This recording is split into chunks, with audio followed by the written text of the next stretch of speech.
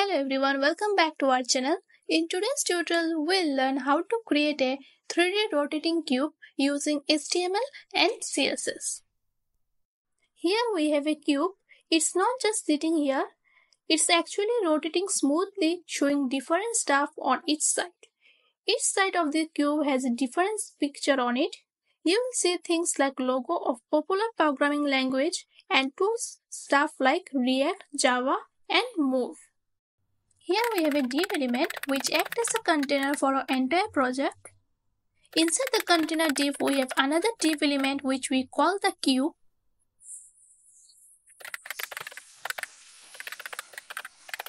Next, we have the div that represents the bottom face of the cube. It has multiple class applied to it.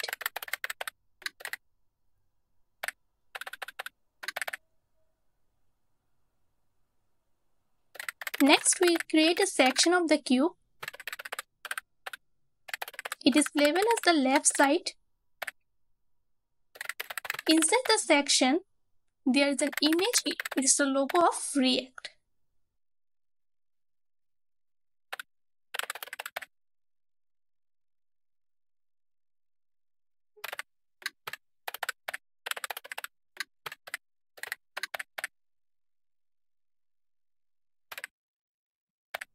Within the cube div, we define five more div elements.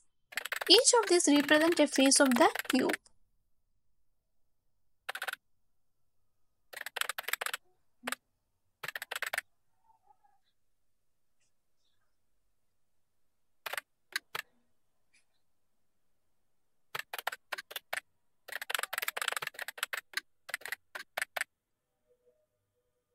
Here we use different classes that is left, front, right, bottom, top and back to distinguish each face and style them differently.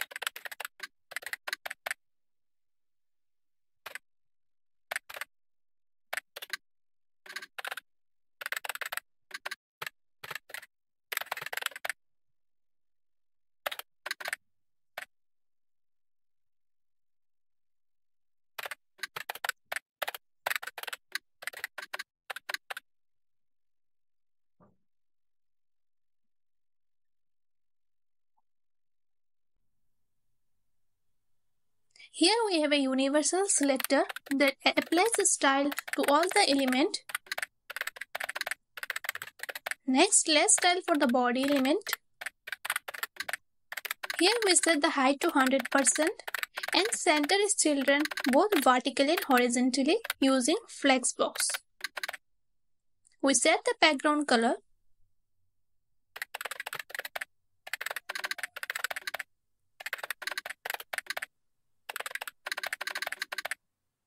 Here we set some font weight, font family and text transformation to uppercase. Now let's tell for the container.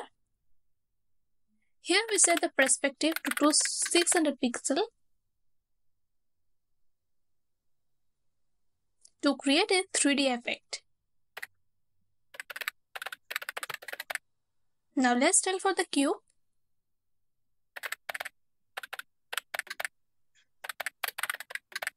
Here we set the position to relative and has a width and height of 300 pixel and the transform style is set to preserve 3D so that it render in 3D space.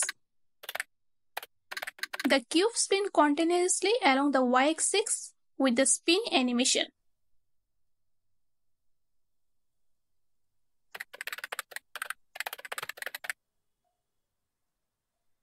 Now let's tell for the face of the cube. They are positioned absolutely within the cube, taking up the entire space.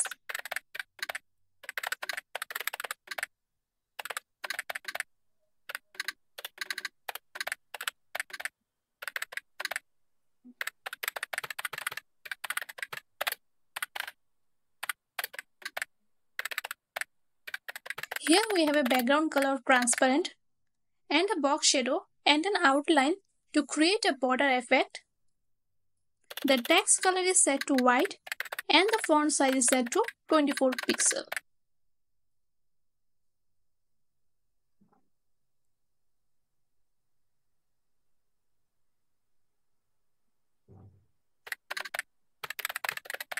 Now let's tell for the image within the cube face. It ensures the image don't exceed the size of the container.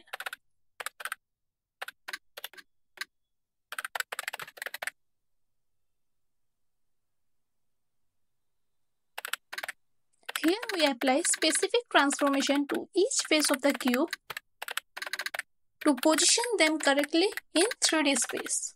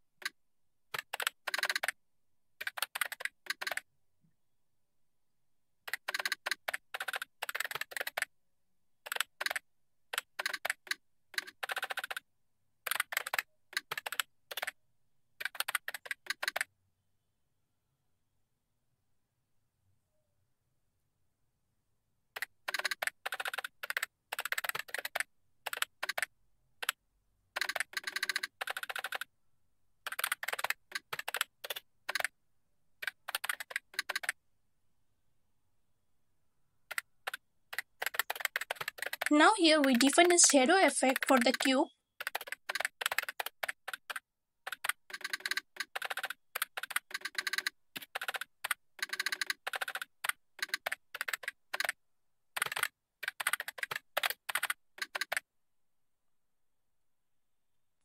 Now let's select keyframe animation named spin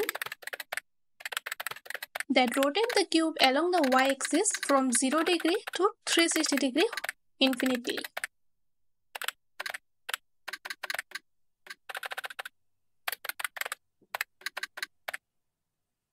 So that's it. I hope you found this tutorial helpful. Don't forget to like, share and subscribe to our channel for more web development tutorials.